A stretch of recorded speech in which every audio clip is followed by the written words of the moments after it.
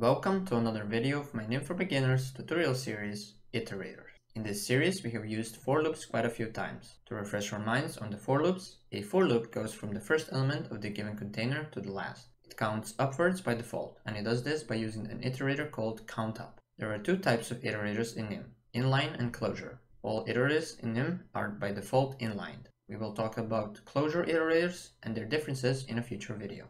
Iterators look very similarly to a procedure. When making an iterator, you will not have access to the special result variable that procedures have, nor can they be used recursively, meaning the iterator calling itself within its code.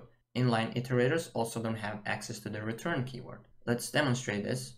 Let's make a simple for loop with a range for e in 1 to 10 and then echo the e. Let's run this. Here we go. It echoes from 1 to 10. Now, this for loop used the default iterator count up on the 1 to 10 range. Let's demonstrate this by copying this and using the count up iterator. Count up from 1 to 10 again and run this. Here we go. It displays from 1 to 10 twice because this is the same. We can also count down from 10 to 1. Let's comment this out and copy this one and use count down iterator instead and reverse the arguments 10 to 1 and run this. Here we go. It goes from 10 to 1.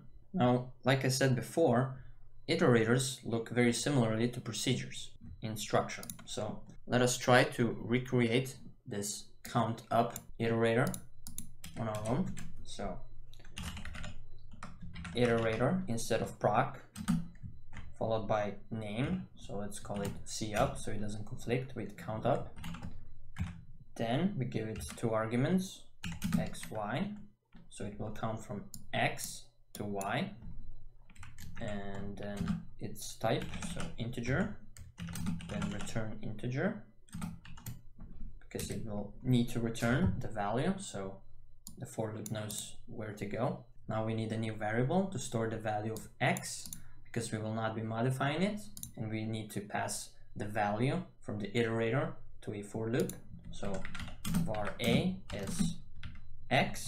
Now we will use a while loop while a is smaller or equal to y, meaning let's say we give it value of 1 and 10, so it will go 10 times. And then we use a special keyword called yield. What yield does is passes the value of a variable back to a for loop and then goes back and continues. So yield a and then increment the counter, increment a. So it will go from 1 to 10. Now let's explain this more thoroughly. So in order to do this, I need this to show you better. Some color syntax and change this iterator back to the range we had, 1 to 10. Let's start at the beginning for e, every element in 1 to 10 range, which is a container.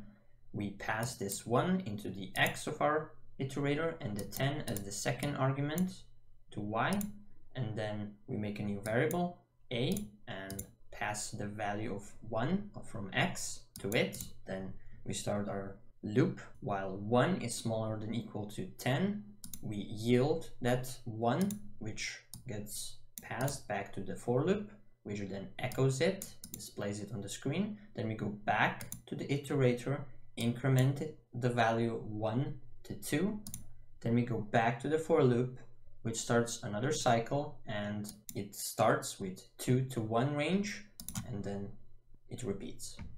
Well, let's remove this and actually use our iterator, our recreation of the count up. So for i in c up, let's say from 0 to 5,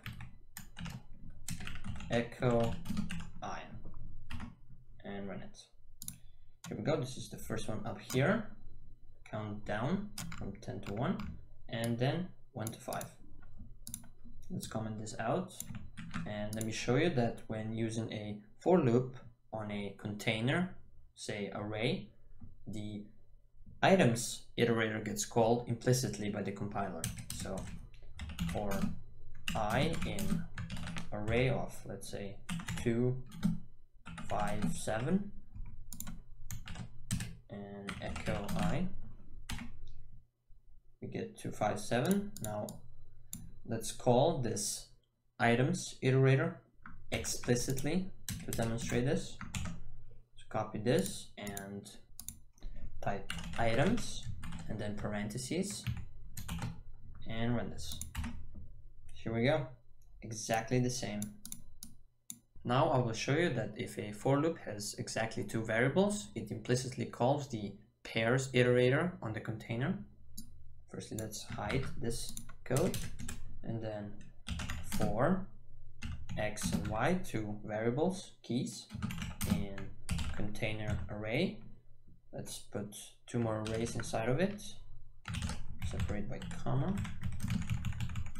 And let's make the first one with odd numbers, 1, 3, and 5. And the second one with even, 2, 4, and 6. And then display, echo the results, echo x, echo y, and run this. Now, the first 0 is because x goes through the first container, which its index is 0, and the second one is 1, so it displays here 0 and 1 here while y displays the, each container's contents, meaning 1, 3, and 5. Now to demonstrate that the pairs iterator was called over here, let's copy and paste this. Firstly, also an echo to separate, empty echo. Paste over here, and now call the pairs on it, and run this. Here we go, exactly the same. Also to note, every library module in NIM has its own iterators. And that's it for this video. Thanks for watching, like and subscribe if you liked it. You can also support me on Patreon. If you had any problems with any part of the video, let me know in the comment section. The code for this video is in the link in the description. Have fun!